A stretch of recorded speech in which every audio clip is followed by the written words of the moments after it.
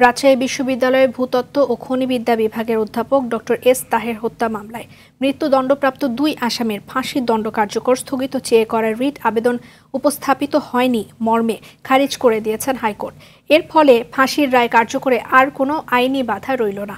রবিবার বিচারপতি জাফর আহমেদ এবং বিচারপতি বশির উল্লাহ হাইকোর্ট বেঞ্চ এই আদেশ দেন। এ সময় আদালত বলেন, রিটে দেশের সর্বোচ্চ আদালতের দেয়া সিদ্ধান্তের সমালোচনায় যে ভাষা ব্যবহার করা হয়েছে তা অসম্মানজনক।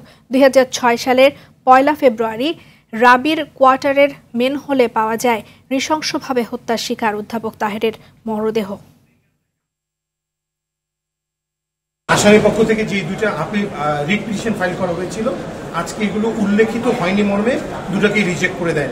ওনারা, ওনাদের গ্রাউন্ড যে গ্রাউন্ডগুলো না হয়, সেই গ্রাউন্ডগুলোর উপর আদালত বলেছে এগুলো কন্টেম্পচুয়াস গ্রাউন্ড এবং আদালতের পক্ষে ওদের কাছে যে সাবমিশনটা ছিল, সেটা ছিল যে আপিল বিভাগ রিভিউ এবং ট্রায়াল কোর্টের জাজমেন্টটা ইলিগাল এবং এটা ওনারা মানতে চান না।